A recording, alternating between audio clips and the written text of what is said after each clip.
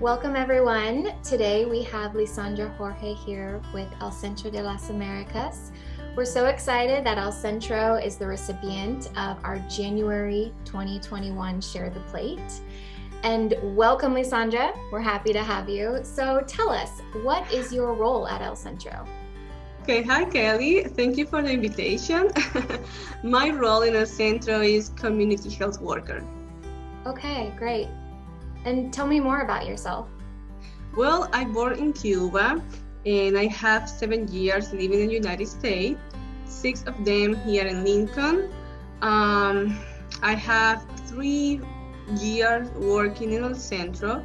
Um, I started as a volunteer in 2015, and then finally I get a position in El Centro.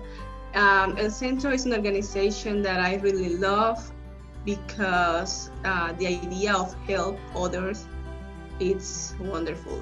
So El Centro and the work that I do in El Centro is very important for me. Mm-hmm. And what is the mission of El Centro? Mm, the mission of El Centro, in my opinion, is to educate and be a support for our community. Um, so El Centro is an organization who has the doors open to everyone who is looking for help in education, health, um, empower area. So we we are very open to help everyone. That's wonderful. So who exactly in the community do you serve normally? We normally serve the Hispanic community, so our target is Hispanic community. But as I said before, we are open to help everyone. Any person who needs help in the community can come to El Centro and we'll be able to, to help. Where is El Centro located? Right now, El Centro is located in 210 O Street in the same building of Community Action. So we share space with Community Action. Great. What types of programs do you have? Right now, our center have many programs. We have physical activity, nutrition, breastfeeding program. We have citizen, uh, citizenship classes, GED classes. Also, we have domestic violence class uh, classes or program. And by the way, we are open to help in many areas out of those programs. For example, if somebody come looking for um, open a bank account, we can help with that. Is it normal for you to go to uh, places in the community with someone and interpret for them? Yes, um, we we do that. We do that in some cases, not all the cases, but in some cases we can do that. In my lactation program, sometimes I go to the hospital to translate for my clients. Um, yeah, it's not it's not something that we do every day, but we can do it. Yeah, it's such a valuable resource. Mm-hmm. yes. So tell me, what is the greatest challenge that your clients are facing right now? Hmm. Well, we have a lot of challenge, uh, but I think one of mm, our big challenge right now is the COVID and the impact that the COVID had or, ha- or, is having in the economy. So we are receiving a lot of cases of families with, with not money for pay rent, food, utilities, and we are trying to, you know, we are trying to get help for those families. Thanks God, we received some, uh, in the last year, we received some um, grants, but the demand is high. So the grants not cover all the families that are needing help. Mm. Yeah. Could you share one of your recent success stories?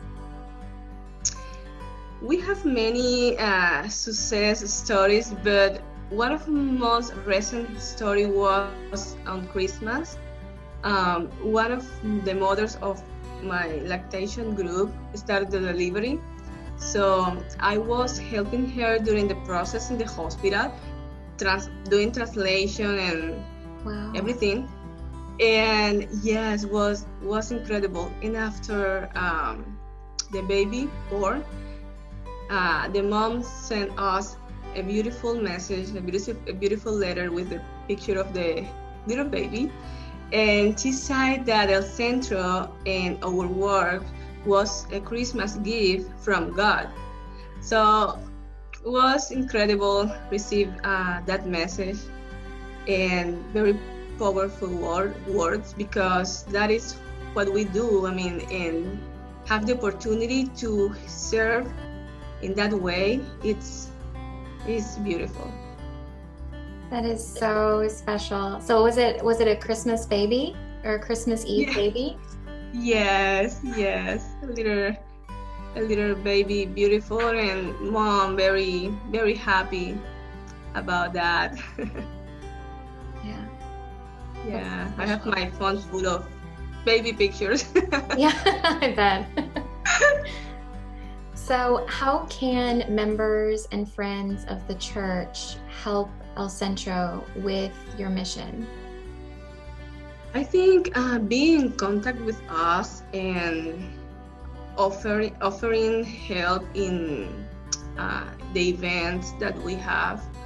Uh, sometimes we need volunteers. Sometimes we need um, combined efforts with other organizations. So if they are open to help in any way or in any area, uh, no matter what, that will be a great support for our community.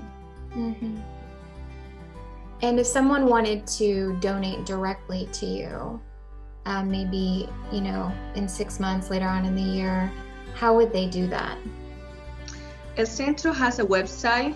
The website is El Centro N E dot uh, dot org I guess. Yes that is the, the the website. So they can go to the website and make a donation uh, in the donation label. They can find all the information. Or uh, they can send a money order to us uh, by regular mail. Or maybe contact us directly and we can find another way to donate. I don't know but in the website they will have all the information in for for make a donation donation.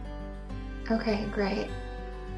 Is there anything coming up in the near future that you would like us to know about? I know it's difficult with covid. Is anything planned? It's difficult with covid but we um you know el centro is still open. All our programs still open right now online, but we not stop to serve. So we are planning. Um, we have our uh, lactation support group every month. We have our nutritional classes every month. Um, so we are planning our Latino Festival 2021, who is in September, and all the events that we normally do are on plan. So we are trying to find new ways yeah. because COVID, uh, you know, it's, it's difficult. But yeah, we are serving, we are open, we are working with our people. Mm-hmm. So the classes that you're offering right now, are they all on Zoom? Yes, mm-hmm. all on Zoom. Yes, only if um, in some cases if the if the case need or demand some personal meeting or conversation, we access to go to the office, but the rest is online. Okay. Mm-hmm. Well, thank you so much for your time, Lisandra. I really appreciate it. And I hope that uh, the Unitarian Church will be able to raise some funds to help you get through the rest of this pandemic. No, thank you to all of you guys for this course and for uh, have El Centro in mind. it's it's a great support for us. Thank you so much.